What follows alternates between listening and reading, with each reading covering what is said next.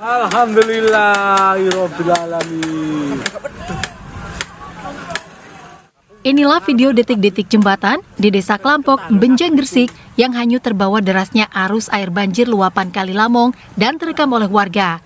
Jembatan darurat tersebut sebetulnya yang dibangun warga untuk bisa melintas di atas jembatan Klampok yang sedang dalam perbaikan. Perbaikan jembatan senilai 2 miliar tersebut direncanakan selesai akhir Desember nanti. Sayangnya pengerjaan perbaikan baru tahap pemasangan tiang panjang, banjir Kali Lamong pun datang.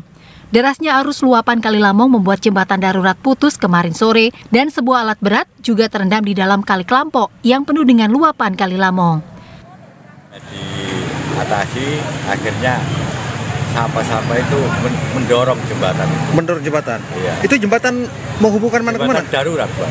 Menghubungkan mana dengan mana? Menghubungkan Benjeng ke Desa Kelampok. Oh gitu. Iya. Kalau nggak ada jembatan ini gimana Pak lewat?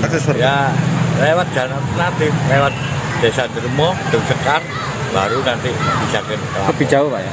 Iya, Pak ini jauh. akibat apa? Arus eh, banjir apa ini? harus luapan kali Lamong.